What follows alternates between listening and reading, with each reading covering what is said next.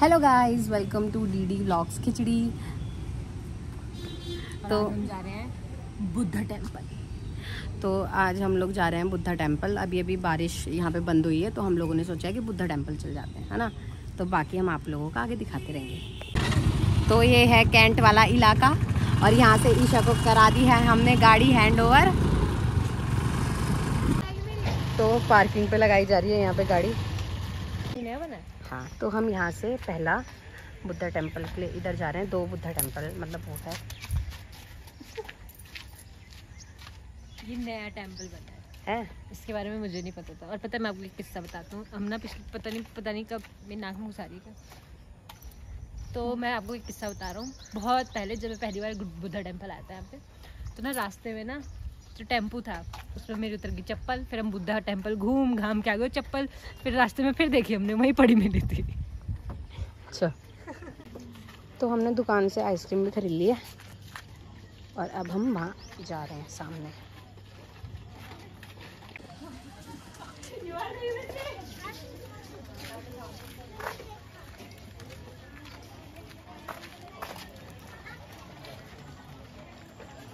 यहाँ पे यहाँ पे आ गए अब यहाँ पे हम बहुत सारी फ़ोटो खींचेंगे। प्यारा है ना?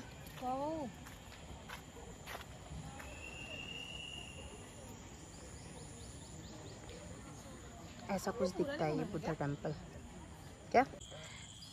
वहाँ जाना अलाउड नहीं है और ये टोपी से खेल रही थी और यहाँ देखो। हम ही नहीं, सब आते हैं यहाँ पे ये काम करने के लिए। हम ही नहीं। अब हम यहाँ पे आ चुके हैं। कैसा लग रहा है आपको घूम के आगे आओ? थूकोगी क्या कार से? पार्किंग के आगे खड़ी हो चुकी हो। बताओ, कैसा लग रहा है? हैं? चल तो जलने की सी बदबू आ रही है। अब ईशा भी यहाँ पे खड़े होकर ऐसी फ़ोटो खिंचाएगी। साउंड सुन चैंटिंग का। यहाँ पे जैसे कि आप सुन सकते हैं चैंटिंग की मस्त आवाज़ आ रही है। पता नहीं कहाँ से आ रही है।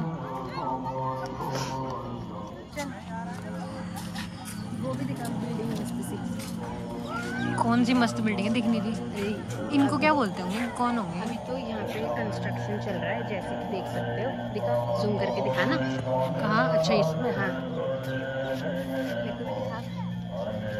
हमने ना आज मैचिंग आउटफिट पहना है थोड़ा थोड़ा मैचिंग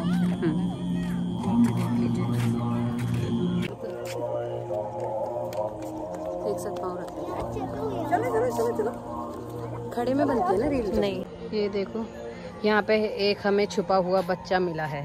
ये बच्चा गुमशुदा है। किसकी तलाश में हो तुम? बताओगे? अरे छुपन छुपन खेल रहे हो अच्छा।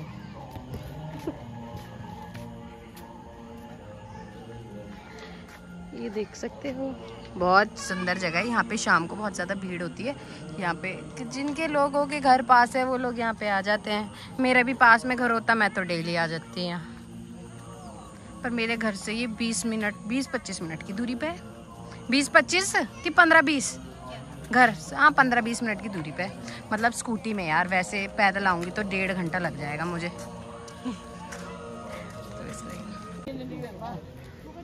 तो हमने घूम भी लिया है बुद्धा टेंपल है ना? और अब हम घर भी जाते हैं। शाम भी होने लगी है। साढ़े छः सात बज चुके हैं। साढ़े छः कितने बज रहे? सात बजने वाले हाँ। हम जहाँ पे भी बैठते हैं ना हमें वहाँ नए ब्लॉगर मिल जाते हैं। दिखाओ। ये देखो हमें यहाँ पे नए ब्लॉगर मिले हैं। हम सोच रहे हैं इसमें अपना नाम लिख हम भी अपना नाम लिख के जाएँगे पर हम पे पेन ही। नहीं है। चल लूँगी। तो गाइज़ यही था हमारा आज का बुद्धा टेंपल का ब्लॉग तो अभी हम घर जाते हैं बुआ का फ़ोन आ चुका है। और हमें अभी रास्ते में जैसे नेपाली एरिया है तो नेपाली लोग मोमोज़ काफ़ी अच्छे बनाते हैं। तो यहाँ से मोमो वोमो खाएँगे और उसके बाद हम घर जाते हैं। तो तो यही था हमारा आज का व्लॉग तो अगर आपको हमारा व्लॉग पसंद आया तो आपको पता ही क्या करना है। Like comment share subscribe to आप कर चैनल नहीं रहे हैं। करिए। सब्सक्राइब करिए बाय